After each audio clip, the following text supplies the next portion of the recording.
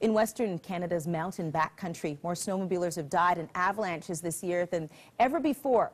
And some riders are still pushing their luck. The Canadian Avalanche Centre pointing to an amateur video as an example of what happens when warnings are ignored. This snowmobiler is approaching the top of a ridge when his machine triggers an avalanche. He then turns downhill, disappears into the slide. Incredibly, at the bottom, the man reappears out of the snow cloud, uninjured.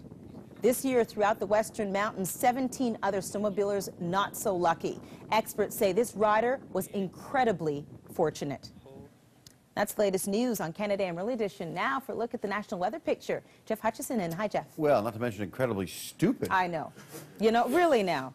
Jeez. I know. Well, everything that's gone on, and oh my. All right.